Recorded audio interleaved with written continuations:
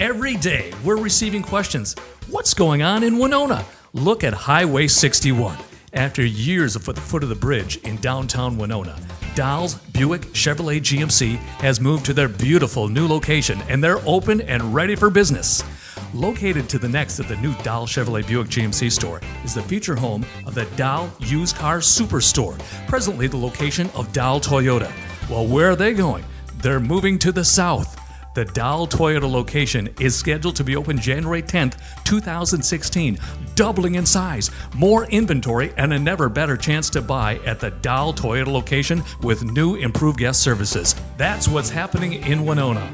Come see us soon. We're your new neighbor, Dahl Toyota, Dahl Chevrolet Buick GMC, and the Dahl Used Car Superstore.